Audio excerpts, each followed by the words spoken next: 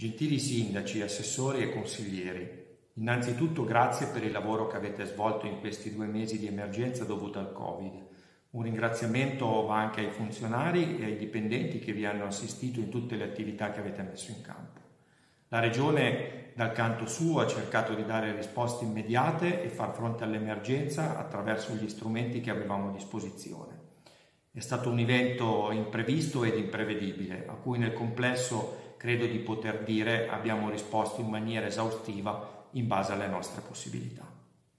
Ora che la fase 1 è passata, quella dell'emergenza, è necessario ripartire cercando di tornare ad una forma di normalità che assomigli il più possibile alla vita che ognuno di noi conduceva prima dell'arrivo della pandemia.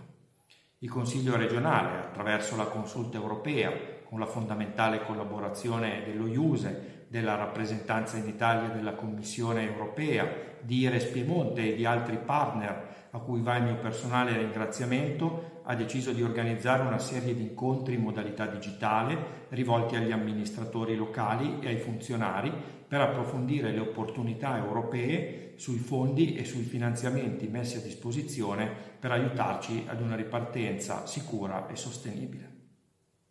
Nel corso degli, degli incontri svolti da professionisti ed esperti, così come abbiamo già avuto di, modo di fare in più occasioni.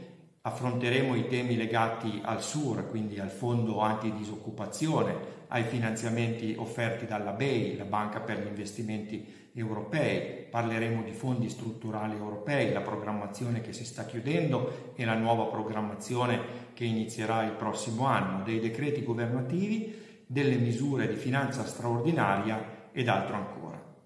Certo di farvi cosa gradita con questo piccolo contributo che abbiamo voluto mettere a disposizione, io vi ringrazio nuovamente per il vostro grande impegno e vi saluto cordialmente.